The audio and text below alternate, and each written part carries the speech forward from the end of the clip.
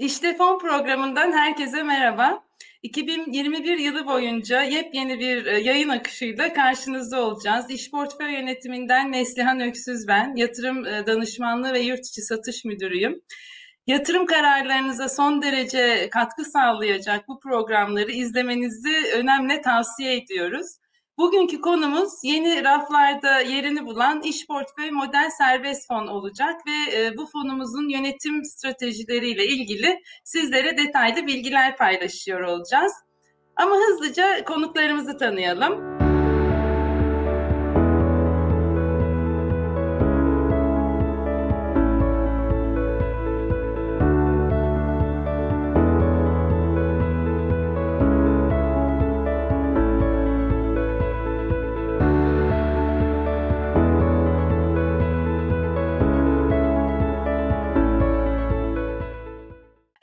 Yatırım danışmanlığı bölümü olarak satış ekibimiz bu fonu ilk e, gördüklerinde ve stratejisini de portföy yöneticilerinden öğrendiklerinde gerçekten çok heyecanlandılar ve gururla yatırımcılarımıza tanıtmaya başladık.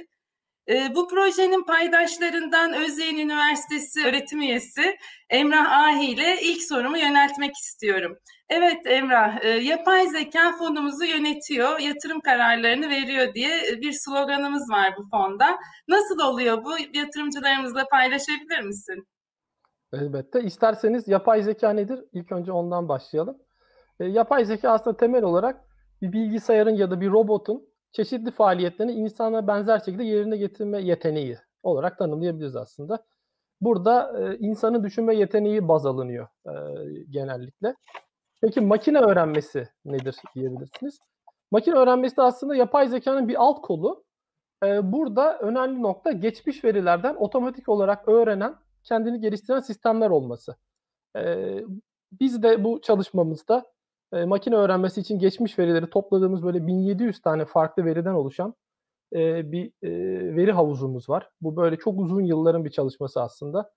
Burada işte e, herhangi bir portföy yöneticisi mesela Deniz'in günlük takip ettiği birçok indikatörü ele alıyoruz veya Nilüfer'in işte bir ekonomist olarak incelediği birçok veri de bunun içerisinde mevcut. Ayrıca bu farklı indikatörlerin birbirlerinin arasındaki etkileşimleri de dikkate alınıyor. Yani hem geçmiş veriden öğreniyor hem de kendi kendini geliştiren sistemler bunlar.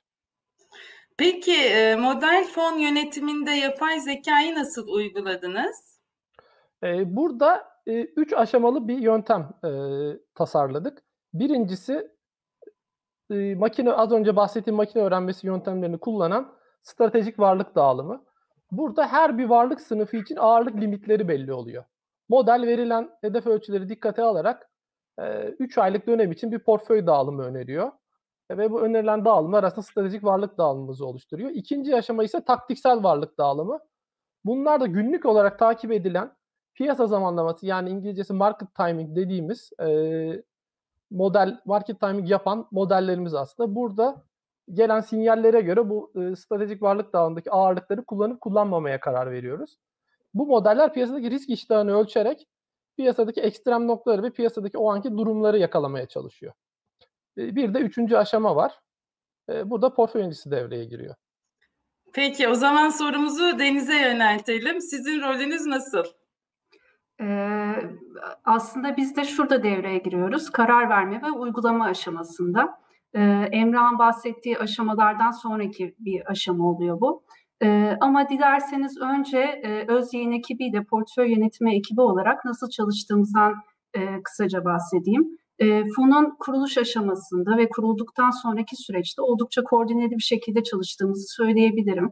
Her hafta en az bir kez e, model çıktılarını yani e, yapay zekanın verdiği sinyalleri ve bu sinyallerin birbirleriyle uyumunu değerlendirdiğimiz toplantılar oluyor. E, bunu daha somutlaştırmak gerekirse bir örnek üzerinden gideyim dilerseniz. E, diyelim ki e, yapay zeka e, modelimizin sonucunda e, bize Borsa İstanbul hisse senetleri için al sinyali verdi. E, biz bu durumda e, öz yayın ekibiyle beraber portföy yöneticileri olarak e, borsayı etkileyebilecek diğer unsurlar için hangi sinyalleri vermiş? Örneğin e, biliyorsunuz dolar kuru hisse senetleri piyasasında oldukça etkili bir faktör. Dolar endeksi için nasıl bir sinyal vermiş? Ya da gelişmekte olan ülke hisse senetleri için nasıl bir sinyal vermiş? Tüm bunları bir bütün olarak bakıyoruz. Bu analizleri yaptıktan sonra sıra portföy yöneticisinin piyasa dinamikleri çerçevesinde model sonuçlarını değerlendirme kısmına geliyor. Burada da eğer model sonuçları yani yapay zekanın verdiği sinyaller bizim piyasa öngörülerimize uyumluysa işlemleri uygulamaya alıyoruz. uygulama aşaması kısmı da aslında portföy yöneticisinin fon performansına önemli katkılar sağlayabildiği bir aşama. Şöyle ki bizim model fonumuz serbest fon niteliğinde bir fon. dolayısıyla diğer fon türlerine göre farklı varlık gruplarına çok çeşitli enstrümanlarda yatırım yapabilme imkanı sunuyor. Ee, yine bir örnek üzerinden e, anlatayım dilerseniz. E, diyelim ki yapay zeka e, o günün koşulları içerisinde bize altın için e, al sinyali verdi ve e, yine varsayalım ki bizim piyasa öngörülerimize de uyumlu bu sinyal. E, bu durumda e, altını fiziki altın olarak mı yoksa altına dayalı bir e, borsa yatırım fonu alarak mı e, veya vadeli işlem piyasasında e, altın kontratı alarak mı e, fon portföyüne dahil edeceğine yine e, portföy yöneticisi karar veriyor. E, kısacası biz yapay zekayı yatırım kararlarında bir e, yardımcı araç olarak kullanıyoruz. Nihai karar yine portföy yöneticisinde ve uygulamada yine portföy yöneticisinde oluyor. Evet, o zaman akademinin modelle ilgili uzmanlığı ve şirketimiz portföy yöneticilerinin de piyasa tecrübesiyle birleşince diyebiliriz ki teoriyle pratiğin e, harika bir uyumu var bu model fonumuzda. Peki e, Emrah'a tekrar dönmek istiyorum. Burada e, hangi menkul kıymetlere yatırım yapacak bu fon? E, fon hem küresel hem yerel varlık sınıflarının tümüne yatırım yapıyor. Deniz'in de bahsettiği bu bir serbest fon ve çoklu varlık, multi asset dediğimiz kategoride. Yani çoklu varlığın yanı sıra bir kuant, makro ve sistematik yöntemlerin kullanıldığı bir fon olarak tanımlayabiliriz. Yabancı varlıkları genellikle ETF dediğimiz borsa yatırım fonları aracılığıyla yapıyoruz.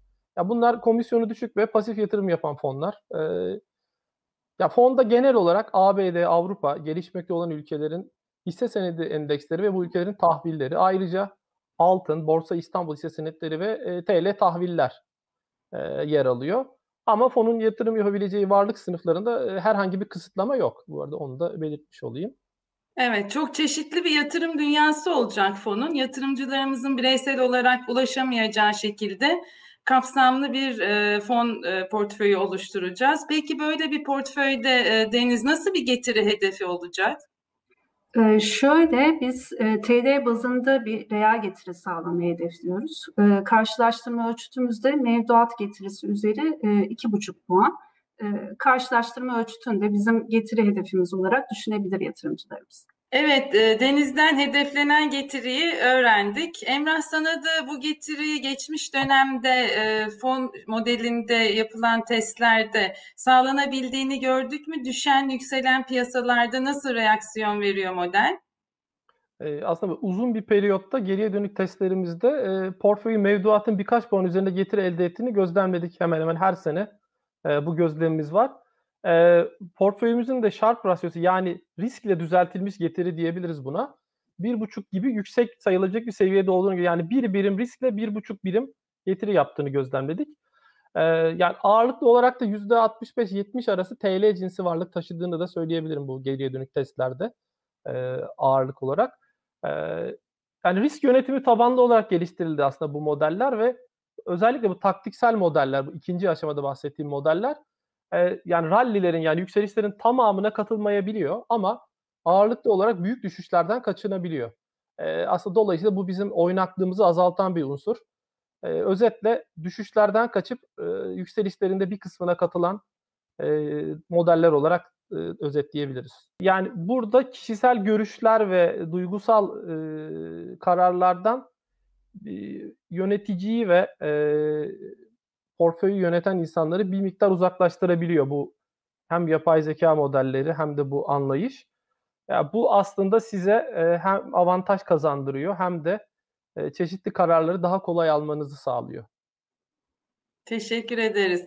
Deniz, bizi dinleyenlerin aklında son olarak kalması gereken bu fonla ilgili en önemli mesajın nedir? Bence bu fonun en güzel yanı ve bence en heyecanlandıran yanı yatırımcıların da ilgisini çekebilecek alan burada yapay zeka üzerinden bir akademik birikimi profesyonel ellere bırakmış oluyorsunuz. Yani piyasa tecrübesine ve yapay zekanın işbirliğiyle ortaya çıkan bir fon yönetimi hizmeti ortaya çıkıyor. Dolayısıyla her gün işte hisse senedi piyasasında ne olmuş ya da küresel piyasalarda işler nasıl gitmiş, petrol yukarı mı çıkmış, altın aşağı mı inmiş gibi indikatörleri sizin için takip eden bir fonunuz olmuş oluyor bu fona yatırım yaptığınız zaman. Emrah, e, bu modelde stratejik ve taktiksel dağıt, e, dağılımdan bahsettin. Bunu biraz açabilir misin? Elbette. E, stratejik varlık dağılımı dediğimiz aslında portföydeki ana çatıyı oluşturuyor. her bir varlık sınıfını alabileceğimiz azami varlık yüzdesi ne olacak? buna karar veriyoruz. bu 3 ayda bir güncelleniyor. Taktiksel varlık dağılımı ise bu her varlık sınıfı için belirlenen yüzdelerin ne zaman kullanıp kullanılmayacağına karar veriyor. Aslında zamanlama yapan modeller. Evet. Spesifik olarak e, biraz daha anlayabilmek için bir de örnek rica edelim senden. Tabii ki.